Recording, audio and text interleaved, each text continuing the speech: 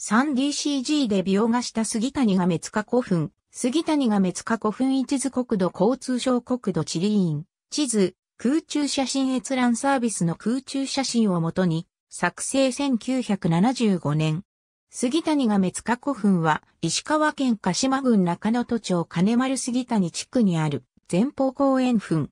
本墳は、能登中央部を北東南西方向に走る、美城山の南六尾根端部に立地する。本墳の南方には、同じく、能登中央部を北東南西方向に走り、大地方を抱く大地方地高帯が広がる。本墳の周辺には、本墳も含まれる杉谷英古墳群のほか、近年になり発見された杉谷 BC 古墳群、弥生時代の高地性集落を検出した杉谷茶の畑遺跡がある。さらに、本墳の北東、美城山稜線上に前方後方墳、前方公園墳を中心とする雨の都墳群があり、同じく美城山上庭や天竺平古墳群、天神古墳群、薬師山、丸山古墳群、能登部姫塚古墳群などがある。本墳が古墳と認識された形で文献上に所見するのは1959年に表された金丸村市の杉谷古墳の項である。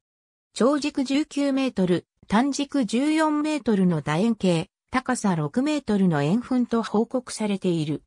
1974年に石川考古学研究会会員の調査により前方後円墳であることが確認された。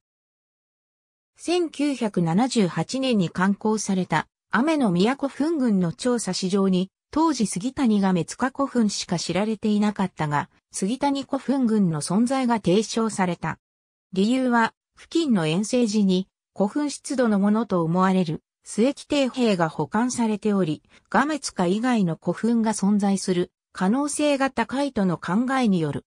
また同じく、雨の都墳群の調査史上に、本墳の規模を全長63メートル、公園部径36メートル、公園部高さ7.5メートル、前方部全端幅34メートル、前方部5.5メートルとする略測値が記されている。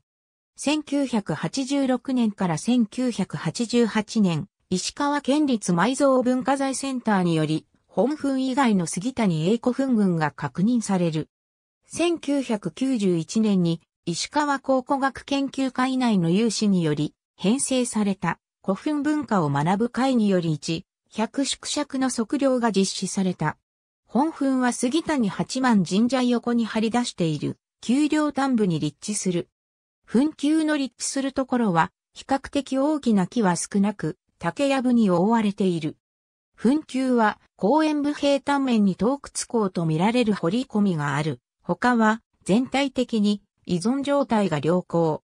現状では、くびれ部から公園部西側にかけてかなり直線的になっていて、後世の植林の手も入っており、この直線的な部分が築造当時からの成形がはっきりしないとする。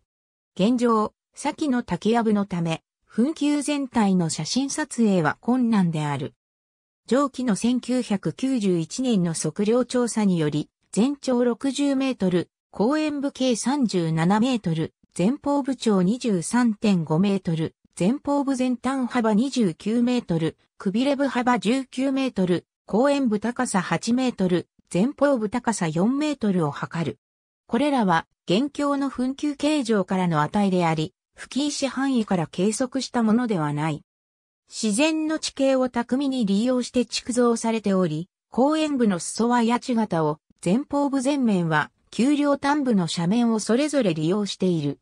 雨の都墳群の調査市場では、断築はないとされており、1991年の測量調査後の古墳文化を学ぶ会のメンバー中にも、断築がないとする者もいる。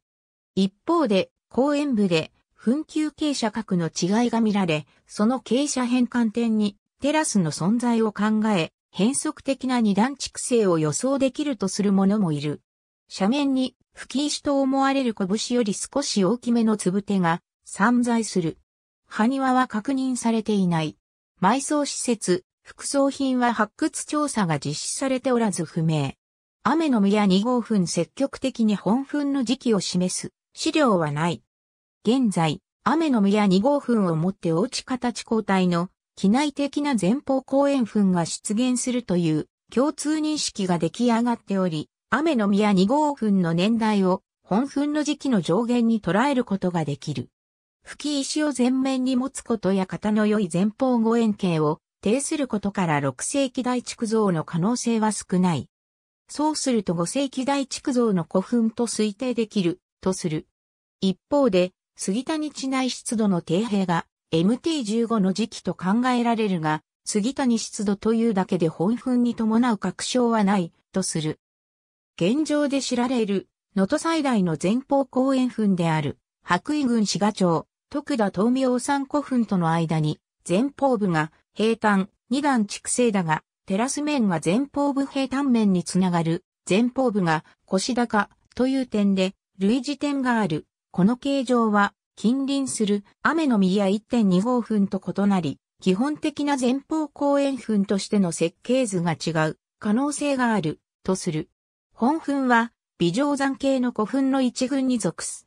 一方地交帯の対岸のイスルギ山系や白衣にも多くの古墳が存在し、これらは川西変年3期以降埴輪を出土するが、微乗山系の古墳からは埴輪の出土は知られていない。その欠落が時期的なものか地域性によるものなのか、これからの問題となろう、とする。ありがとうございます。